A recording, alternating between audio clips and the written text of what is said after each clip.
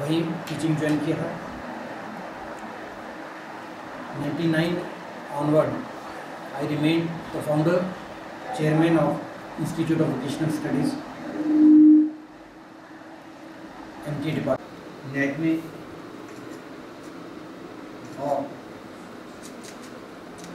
जितनी भी A C T की I was a founder chairperson and the director of the tourism department integrated Himalayan studies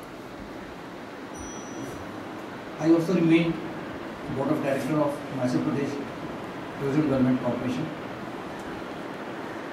Rewari विश्वविद्यालय में इनके हमें गवर्नमेंट से ग्रांट भी चाहिए सैलरी भी चाहिए सारी तो क्या सर आप आप आज अगर हम इंजीनियरिंग की बात करते हैं तो 80 परसेंट बच्चे को ना तो एम्प्लॉयमेंट हम उनको दे पा रहे हैं ना ही सही ढंग से उनको इंजीनियर बना पा रहे हैं तो ये बहुत बड़ा सवाल हायर एजुकेशन, इंजीनियरिंग एजुकेशन को लेकर के है।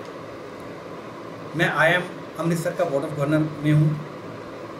हमने कि मुझे ऐसा लगता है कि विश्वविद्यालय को एक्सपेंड करने के लिए, उसकी मैनेजमेंट ऑफ़ री हायर एजुकेशन के लिए रीओरिएंटेशन ऑफ़ हायर एजुकेशन के लिए और क्वालिटी ऑफ़ हायर एजुकेशन के लिए जिस तरह का इंफ्रास्ट्रक्चर चाहिए, जितनी फैकल्टी चाहिए, उस तरह के रिसोर्सेज क्रिएट करने के लिए हमें गवर्नमेंट से वन टाइम कम से कम 200 करोड़ रुपए की ग्रांट चाहिए होगी और साथ में रेकरिंग ग्रांट चाहिए होगी तभी हम इस विश्वविद्यालय को जो हम ग्लोबल लेवल पे पहुंचाना चाहते हैं वो चाह पाएँगे। अभी तक गवर्नमेंट से ग्रांट नहीं मिली है। आप सर एक विजन जी मुझे मुझे लगता है कि विश्वविद्यालय का अपना विजन होना चाहिए। हम शॉर्ट टर्म विजन दो साल का भी बनाने जा रहे हैं पाँच साल का भी बनाने जा रहे हैं और दस साल का भी बनाने जा रहे हैं। दस साल बाद विश्वविद्यालय को कहाँ होना है? मुझे लगता है कि विश्वविद्यालय के अपने प्रायोरिटीज एरिया हैं।